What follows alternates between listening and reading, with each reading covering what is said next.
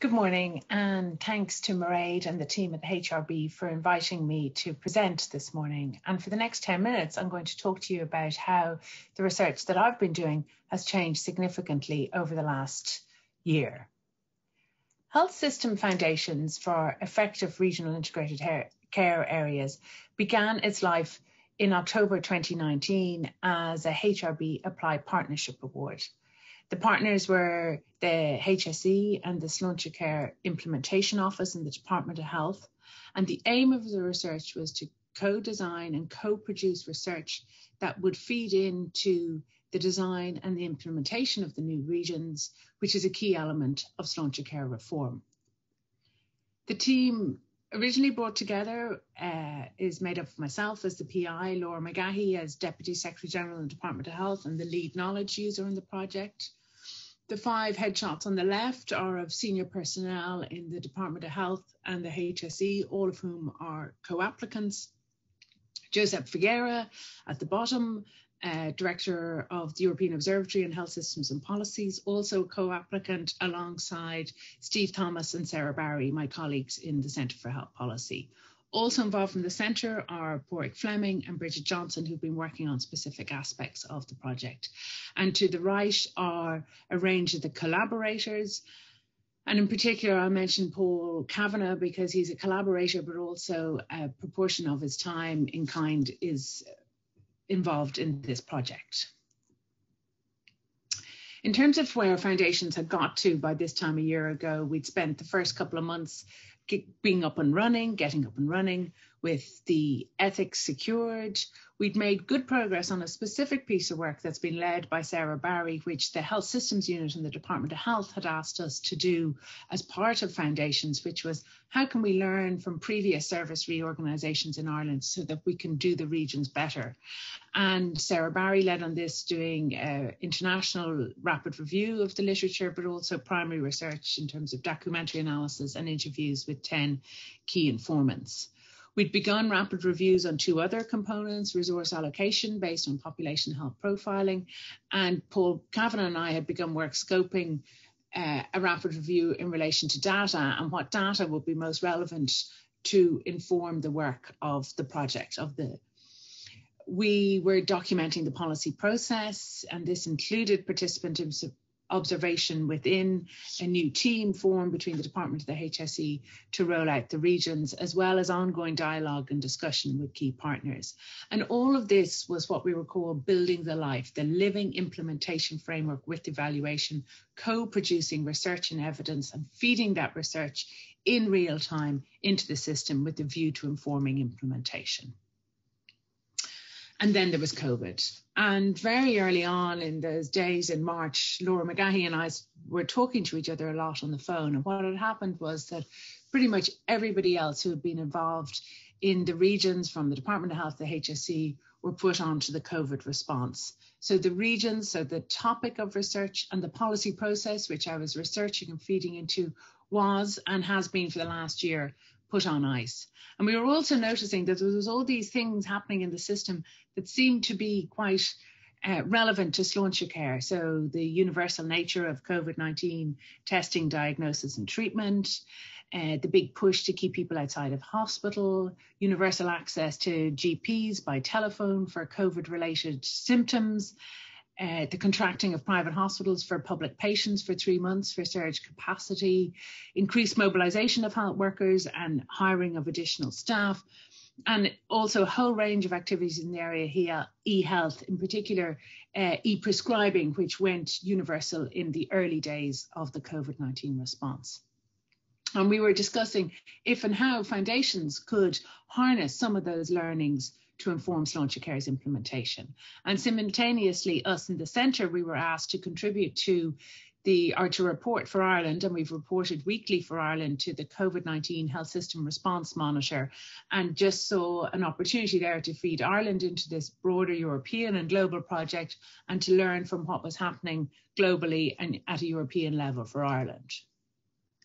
Obviously, the shift in focus of the research had to be negotiated. It took it was quite time consuming, both with dialogue with the Department of Health and the HSE, many of whom were much busier doing COVID specific COVID related work. But we negotiated the shift with partners, and then the HSE agreed to that shift in focus on the basis that we published a protocol which I was delighted to do, although proved extremely uh, time consuming to, to do that too.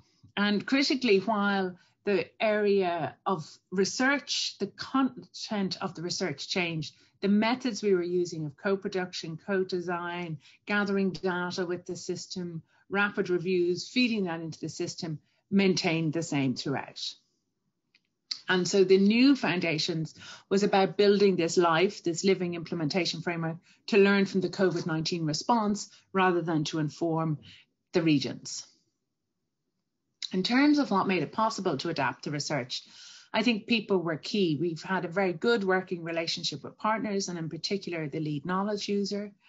The personnel were pertinent to both topics. So we were lucky that the group of people I had gathered together over two years ago when drafting the proposal for foundations were, were still very relevant in one way or other to the health system response to COVID.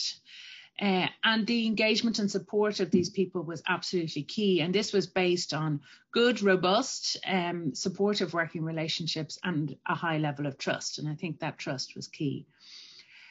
As I said before, while the topic or the the area of focus changed, the research de- design and methodology largely remained the same. And that was important in terms of our ethics, our contract, our budget. Um, and in particular, I think the nature of the research, which is iterative, responsive, co design, co production, largely qualitative, although there are quantitative elements to it, I think that helped shift so quickly, us shift so quickly. And there was a lot of uh, hard work and patience and goodwill that got us there. In terms of progress that we've made to date, we've completed that reorganisation research that I referred to, and we've continued our work on the other rapid reviews, although some of those have changed to respond to the current situation. We've done this substantial piece of work with partners, scoping, documenting, and assessing 62 of the COVID 19 health system responses. And ongoing work is with 17 clusters of these. And this month, we are beginning to collect indicators on 10 of these initiatives and to do three in depth case studies. The focus being on what are the sustainable and, and scalable elements of the COVID 19 health system response that can inform and contribute to Sláintecare's implementation. We're continuing to document the policy process and engage in dialogue engagement with partners. And all of this is our life, our living implementation framework with evaluation. In terms of some reflections on changing the research focus and the question that kept on resonating in my mind throughout the preparation for this session was, uh, was it worth it? And these are my reflections rather than those of the team. And when I say team, I I'm, i use the term loosely because in fact just myself and a postdoc are funded on this project, but it has had this very much collaborative partnership approach to it. And I think it I feel quite strongly that it's been a privilege to be researching uh, what we are researching at the moment. That what we are seeing alongside the grief and the loss and the sickness uh, caused by COVID 19 there is also this extraordinary health policy and health system change never seen in before in my lifetime or in my working life and perhaps in the history of health systems. So to be part of the academic research that's trying to harness and capture that, I think is a real privilege. The work we've done to date has been credited by partners as influencing in, just in the last six to nine months the programme for government, the Living with COVID plan, the HSE COVID winter plan, the yet to be published HSE National Service Plan and Sláintecare implementation in 2021 and beyond. I liked this quote from Robin Sharma. And we are in the messy bit. And not only that, but we're in the messy bit in the midst of a global pandemic. So I'm looking forward to living the life, to getting to the gorgeousness at the end. Although the hope of this project is that while the research ends in 2021 that many of the ways of working or the data gathering are continued by the project partners. Ultimately, Foundation seeks to use health systems and policy research to inform practically and academically the implementation of Sláintecare in Ireland and health reform internationally. And I think if we manage to contribute to that in any small way, then absolutely changing the focus of the research has been worth it. And I look forward to our discussions on this matter.